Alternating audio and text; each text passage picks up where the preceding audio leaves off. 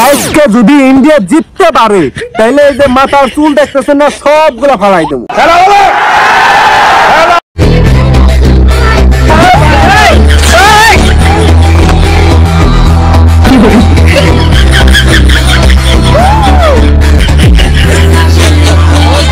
जन्नती है कन्फर्म जन्नती है जन्नती है कन्फर्म আজকের ভিডিও থাম্বনেল এবং টাইটেল দেখে তোমরা নিশ্চয়ই অনুমান করে নিয়েছো যে আজকের এই ভিডিওটা কি নিয়ে হতে চলেছে।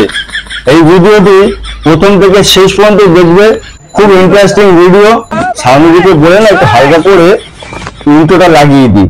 স্বামীজি, লাগাও। ঠিক ঠিক ঠিক বলেছেন।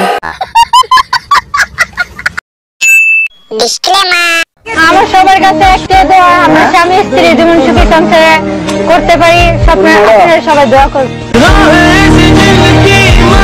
এটাই হচ্ছে এই ধর্মের খুব সৌন্দর্য এবং খুব স্মৃতি রিচার্জের কোম্পানিগুলো রিচার্জের যথেষ্ট পরিমাণে দাম বেড়েছে যা মধ্যবিত্ত বাঙালি কেন নিম্নবিত্ত বাঙালি? এবং এই যে আমাদের ভারতকে ডিজিটাল ইন্ডিয়া বানানোর যিনি প্রধান উদ্যোক্তা বা হোতা তিনি কতদূর মনে করছেন? এটা সত্যি খুব খারাপ হয়েছে, জিও, এয়ারটেল ভোডাফোন তাদের রিচার্জের টাকাটা বাড়িয়ে দিয়ে। তবে এখন সরকারের দোষ দিয়ে কি লাভ? যখন আমাদের সরকারি কোম্পানিকে নিয়ে ভাবা দরকার ছিল, যেমন বিএসএনএল কোম্পানি, তখন তো আমরা কেউ ভাবিনি। এবং আমরা বাঙালিরা ফ্রি জিনিসটাই সবার আগে গ্রহণ করি। যেমন লক্ষ্মীর ভান্ডার এখন ফ্রিতে দেওয়া হচ্ছে। আগামী ভবিষ্যতে না জিওর মতো অবস্থা হয়।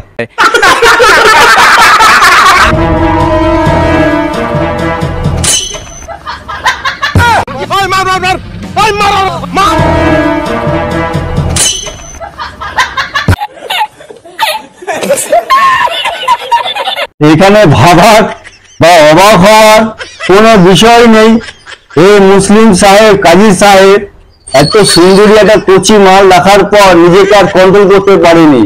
তাই উনি হালকা করে একটু দিয়ে দিলেন।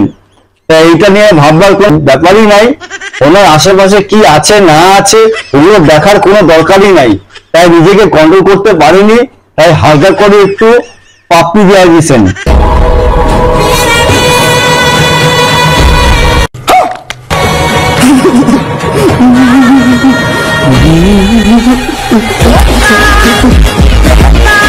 মাদ্রাসা হয়েছে তো কি হয়েছে? তা বলে কি প্রেম, ভালোবাসা আই লাভ ইউ হবে না? যদি প্রেম, ভালোবাসা ভালোবাসা না হয়, তাহলে দেশের জনসংখ্যা গুলো বাড়বে কি করে? সেটাও তো একটা ওনারা ভাবেন এই নিয়ে।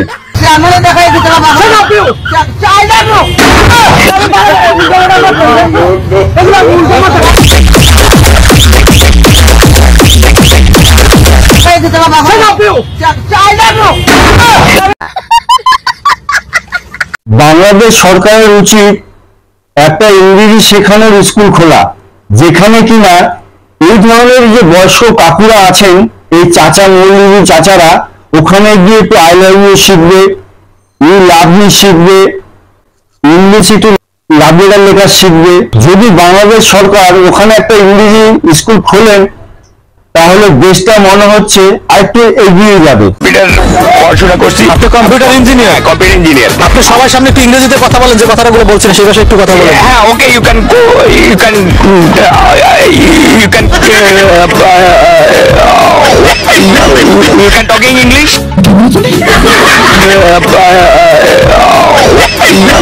you can talking English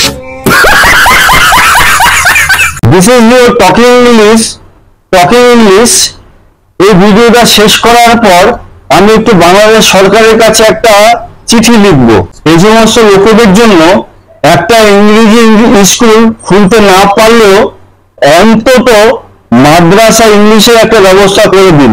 এনারা ওখানে গিয়ে একটু ইংলিশ শিখতে পারবে। कौन কাহা দীর্ঘ ছেচল্লিশ বছর পর অবশেষে খোলা হলো পুরীর রত্ন ভান্ডার পুরীর রত্ন ভান্ডার ইতিমধ্যেই খোলা হয়েছে দীর্ঘ ছেচল্লিশ বছর পর। এর আগে উনিশশো সালে শেষবার সম্পদের খতিয়ান দেওয়া হয়েছিল এই রত্ন ভান্ডার খুলে আর দীর্ঘ ছেচল্লিশ বছর পর এবার খোলা হলো পুরীর রত্ন ভান্ডার তাহলে দীর্ঘ ছেচল্লিশ বছর পর পুরীর রত্ন ভান্ডার খোলা হলো। আর এই নিয়ে আপনাদের কি মতামত? তা একটু কমেন্ট বক্সে ভিউয়ার্স আপনারা একটু কমেন্ট করে জানাবেন।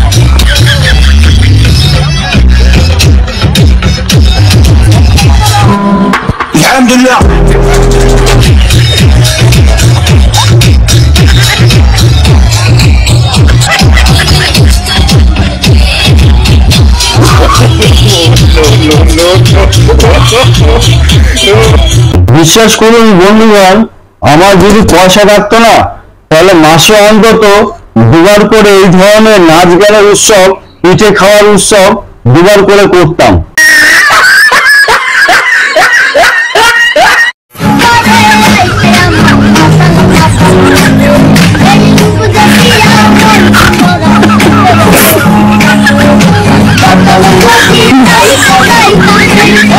চাচি এখানে ঝগড়া করেছে, সেটা কিন্তু দেখার মতন। কিন্তু যে এখানটা ভিডিওটা করেছে তাকে বলতে চাই এই ধরনের ভিডিও করে নিজের দেশের মান সম্মান আর জলে ডুবিও না। এমনিতে তোমাদের মান সম্মান জলে ডুবে গেছে।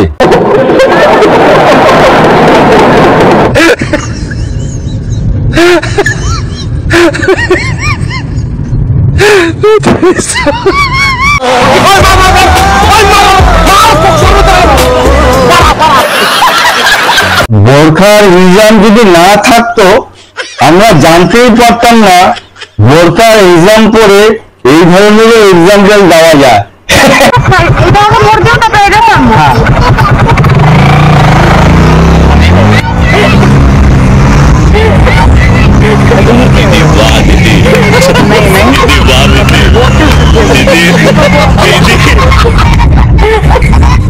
এইসব মানুষদের সর্ষা খেতেই মানায়। এদের বাইক আর হেলিকপ্টার না রাখলেই মনে হয় ভালো হইতো। শুভ পবিত্র বিবাহে প্রস্তাব নিয়ে এসেছি। এই প্রস্তাব তুমি করছ?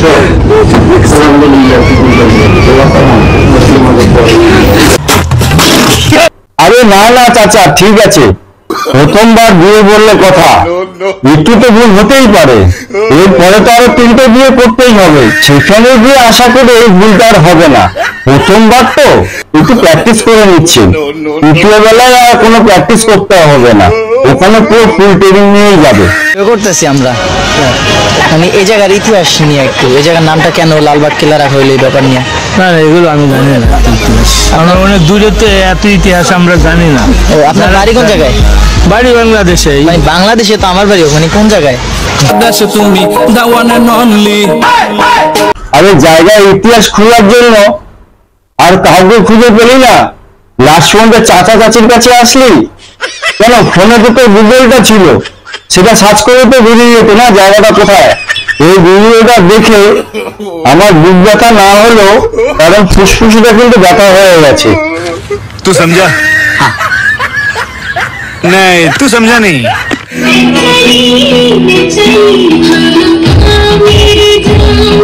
বিয়ে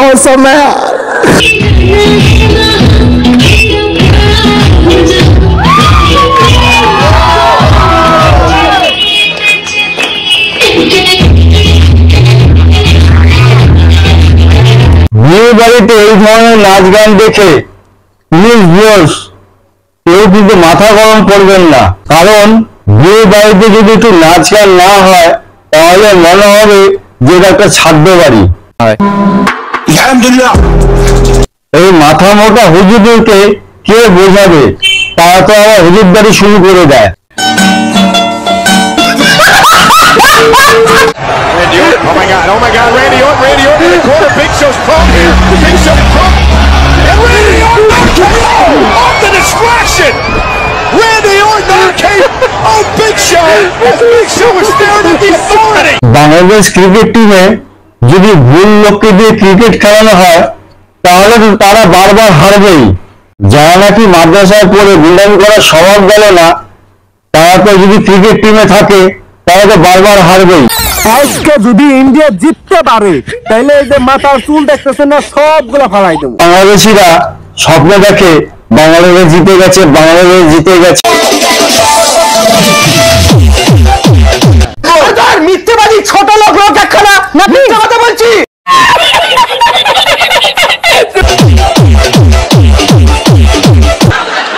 আর দেখে যাও তোমরা।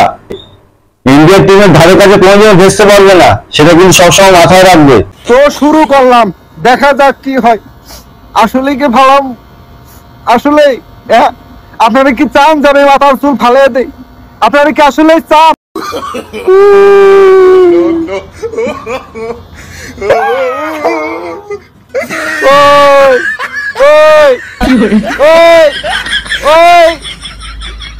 এটা কোনো কথা এলো? আরে সাউথ আফ্রিকা রে তোরা যদি ম্যাচ জিততি তাহলে আমার মাথার চুলটা ফালাইতে হতো না রে। ওরে সাউথ আফ্রিকা তোরা কি করলি রে?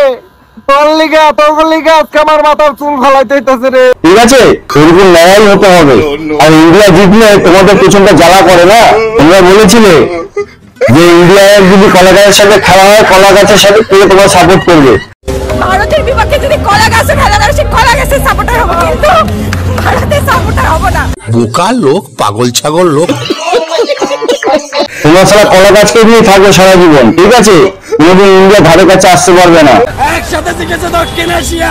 ছুরি সব জায়গায় চলে না সবার সাথে চলে না।